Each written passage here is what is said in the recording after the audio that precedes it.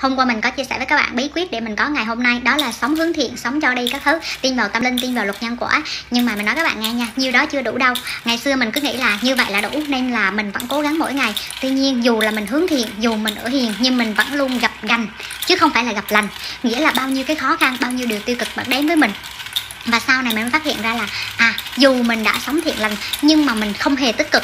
Nếu như ai kể cho mình nghe một câu chuyện nào đó, mình chỉ soi vào những điều tiêu cực, mà tối ngày mình có u, sầu, uất ức, nên là nó theo luật hấp dẫn, nó cứ hút đến quanh mình những con người giống y chang như vậy, những con người xấu tính tiêu cực giống như mình ngày xưa, và mình không có được cuộc sống lạc quan vui vẻ. Thì sau này mình mới nghe một câu chuyện như thế này mà giúp cho mình thay đổi đấy các bạn.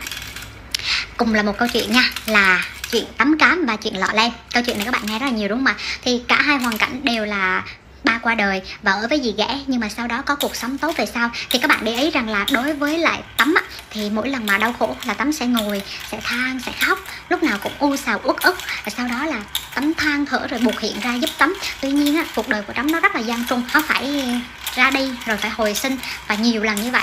Có một cái cục của tấm cám mà cũng có nhiều bạn biết rồi đấy chứ. Có một đoạn tấm sẽ lấy thịt của cám và đem nấu cho dì ghẻ ăn cái đoạn đó thì hầu như người ta không có đưa vào truyện cổ tích đâu nhưng mà các bạn đã nghe qua rồi đúng không ạ?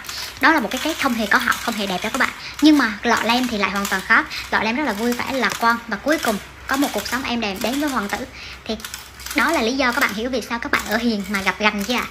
khi các bạn ở hiền nhưng mà các bạn luôn nghĩ những điều tiêu cực lúc nào các bạn cũng buồn rào trách móc. Ví dụ như cũng là chồng như nhau. Nhưng mà chồng người ta cũng y chang như mình, có thi là thua mình, nhưng lúc nào người ta cũng thấy hài lòng. Còn bản thân mình thì ôi chồng ta tệ lắm, chồng ta làm không ra tiền, ôi ta chồng ta không giỏi chồng ta không thế này thế kia. Còn người ta thì lúc nào người ta cũng khen, chồng cũng vỗ tay tích cực, anh giỏi lắm, anh cố lên. Thì chồng người ta ngày càng giỏi lên, còn mình chỉ soi vào điều tiêu cực đó thôi. Ví dụ như cùng là một video chia sẻ năng lượng tích cực, thì những bạn tích cực sẽ nghe những cái điều mà mình chia sẻ, sẽ nghe những điều hay thôi. Còn có những bạn thì chỉ soi vào, tại sao bà này hôm nay da đen, tại sao hôm nay có hình xăm chỗ này, hôm nay mặc đồ sao mà hở thế này? Và rất là nhiều cái điều tiêu cực. Nghĩa là các bạn chỉ quan tâm vào điều tiêu cực. Và khi mà các bạn làm như vậy, cái luật hấp dẫn nó sẽ hút đến cho các bạn những mối quan hệ tiêu cực từ khách hàng, từ nhân viên, từ đồng nghiệp, từ bạn bè. Từ những mối quan hệ xung quanh các bạn, nó cũng sẽ dần tiêu cực. Và dần dần những điều tiêu cực nó cũng sẽ đến với các bạn. Nếu như các bạn tối ngày đi nói xấu người khác, thì các bạn cũng chỉ lan tỏa ra năng lượng tiêu cực. Và hút đến với các bạn, những người xấu xa như vậy.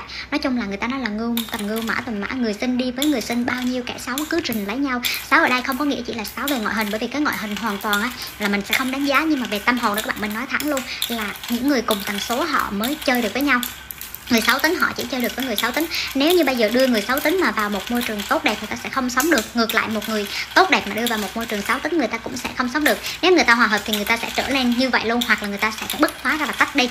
Các bạn muốn cuộc sống của bạn như thế nào? Các bạn muốn tiếp xúc với những người như thế nào? Thì các bạn cứ tỏa ra năng lượng y chang như vậy. Muốn là cô tắm hay muốn là lọ lem là do các bạn. Muốn ở hiền gặp lành hay ở hiền gặp gành là do các bạn nha.